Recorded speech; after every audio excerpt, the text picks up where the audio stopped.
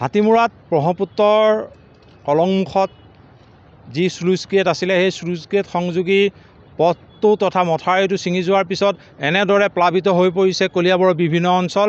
এতিয়া দেখা গৈছে কলিয়াবৰৰ জখলাবন্ধাৰ বজাৰৰ মাজেৰে হাতীমূৰা সংযোগী এই পথটো। অৰ্থাৎ কেৰিবাকৰি এই অঞ্চলৰ পথটো সম্পূৰ্ণৰূপে বুৰাই পেলাইছে। বাঢ়নি পানীয়ে লগতে পথৰ দুয়ো কাষে বাস কৰা এই সাধাৰণ জনসাধাৰণৰ বাসগৃহ সোমাই পৰিছে পানী খেতিপথাৰ বুৰাই পেলাইছে বিভিন্ন ধৰণৰ অসুবিধাৰ সৃষ্টি হৈছে। এই অঞ্চলৰে আমাৰ লগত এজন ৰাইজ আছে তেখেতৰ পৰা জানিবলৈ চেষ্টা কৰিম। কওকচোন কি হৈছে পানী? পানী মাঠৰি ভাঙি পানী সোমাই গ'ল। এতিয়া মোৰ ঘৰত খাবলৈ নাই এতিয়া জখলাবন্ধা যাম বুলি ভাবিলোঁ চাউল আনিবলৈ। এতিয়া এতিয়া চাউল কেনেকৈ আনো কেনেকৈ চলোঁ কেনেকৈ খাম কেনেকৈ থাকিম এতিয়া কেঁচুৱাটোৱে কি খাব? এতিয়া তাকে চিন্তা হ'ল। এতিয়া চৰকাৰে যাতে আমালৈ চিন্তা কৰে কিবা এটা আৰু খাবলৈ বোলে এনেদৰেই দুৰ্দশাগ্ৰস্ত বানাক্ৰান্তই হাহাকাৰ কৰিবলগীয়া হৈছে কাৰণ তেখেতসকলৰ অহা যোৱা পথটোৰ ওপৰেদি প্ৰায় দুফুট তিনি ফুট গভীৰতাৰে পানী বৈছে লগতে ঘৰৰ আধা অংশ সম্পূৰ্ণৰূপে পানীত ডুব গৈছে। যিটো কাৰণে তেখেতসকলৰ খাদ্য অন্ন বস্ত্ৰ খোৱা পানীৰ কাৰণে হাহাকাৰ কৰিবলগীয়া পৰিস্থিতিৰ উদ্ভৱ হৈছে। আমাৰ লগত আৰু এগৰাকী স্থানীয় যুৱক আছে তেওঁ কি ক'ব? কি ক'ম আৰু এতিয়া বহুত কষ্ট হৈ যাব পানীৰ কাৰণে। আগতে এবাৰ ভাঙিছে বহুত কষ্ট হৈ গৈছে। এতিয়াতো আৰু কষ্ট হৈ যাব ছাৰ। কি কৰিম এতিয়া?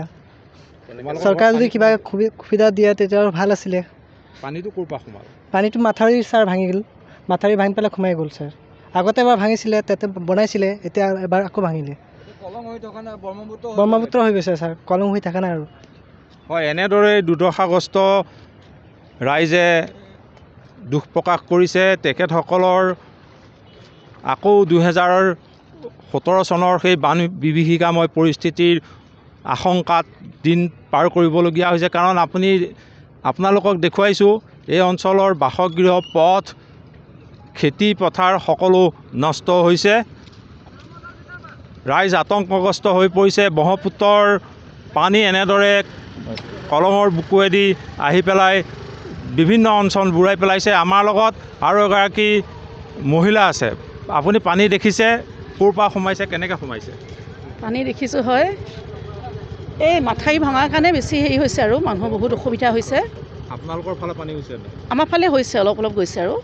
এতিয়া এই অঞ্চলটো দেখিছে পথটো বুৰাই পেলাইছে। হয় হয়। গোটেই মানুহ কষ্ট হৈছে এতিয়া খাবলৈ হেৰি কৰি বহুত দিগদাৰ হ'ব। তাকে।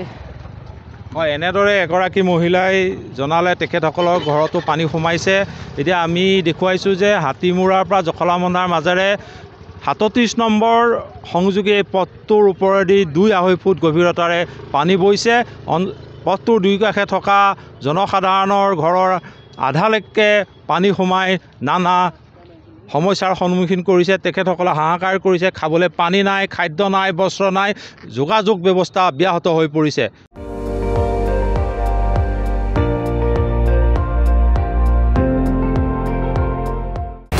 আপুনি চাই আছে এন ডি টুৱেণ্টি ফ'ৰ। সৰ্বশ্ৰেষ্ঠ নহয় সৰ্বোত্তমৰ দৌৰ।